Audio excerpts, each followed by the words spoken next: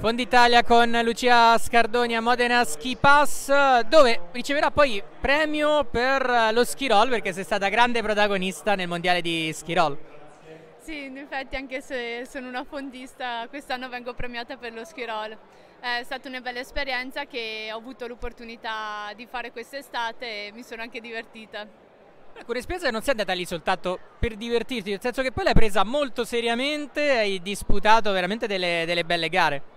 Sì, comunque lo ski roll cioè, mi piace, quindi ovviamente l'ho fatto per divertirmi perché mi faceva piacere parteciparvi, però ovviamente sono sempre delle gare, quindi lo spirito, cioè la competizione è venuta fuori poi.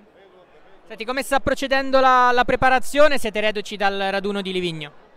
Sì, eh, siamo appena tornati dal raduno di Livigno, abbiamo fatto dei dieci giorni di carico sugli sci, abbiamo avuto l'opportunità di sciare appunto alla, nella snow farming di Livigno e diciamo che adesso faremo un paio di giorni di riposo e poi si ritorna sugli sci a Davos e poi è tempo di iniziare le gare. Mi hanno detto che ci hanno dato giù duro a Livigno con gli allenamenti.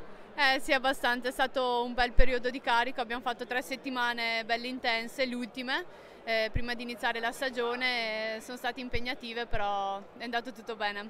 Ecco, le tue sensazioni anche vista la tua grande esperienza, anche confrontandola con gli altri anni, a che punto sei?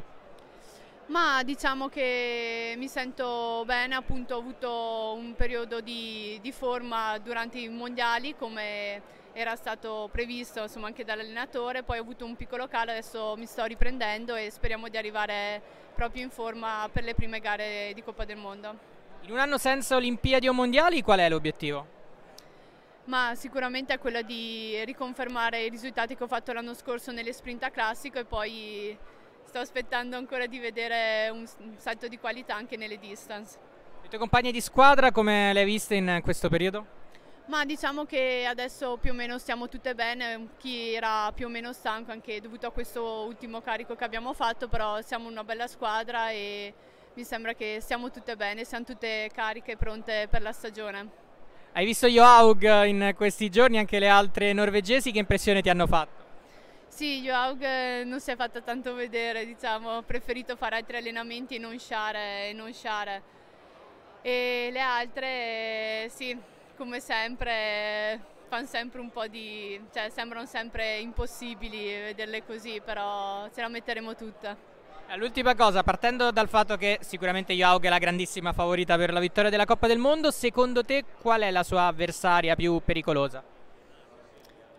Ma sicuramente Osberg, ma anche le russe credo che le daranno filo da torcere.